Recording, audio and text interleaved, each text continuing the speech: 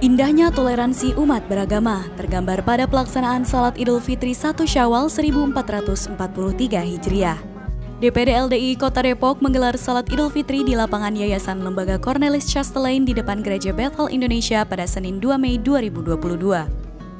Kegiatan tersebut telah berlangsung selama 25 tahun yang pelaksanaannya dibantu oleh Pramuka Sako SPN Cabang Kota Depok. Ibadah salat menggunakan fasilitas umat agama lain menjadi bukti LDI Kota Depok dapat hidup rukun dan damai dengan umat beragama lain. Pertama sekali bukan soal komunitasnya, tapi pertama sekali ajas negara kita adalah Pancasila. Pertama, ketuhanan yang masa. Semua agama mengajarkan kasih. Dan kedua, indahnya keragaman kerjasama saling menopang saling mendukung. Bila ini ditingkatkan namanya Indonesia lima beragam agama itu makin kuat.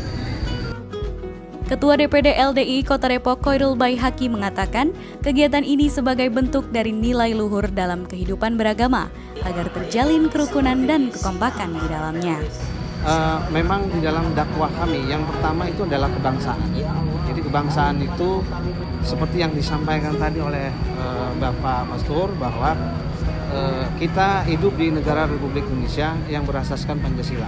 Maka kita harus uh, menjunjung tinggi perbedaan, kemudian menjunjung persatuan untuk menciptakan kondisi negara yang lebih baik, aman, tentram, dan sejahtera.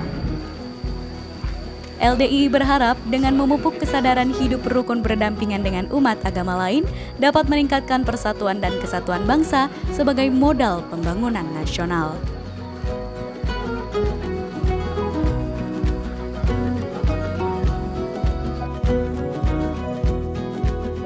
Klik like jika menyukai video ini dan subscribe untuk mendapatkan berita terbaru dari LDI TV.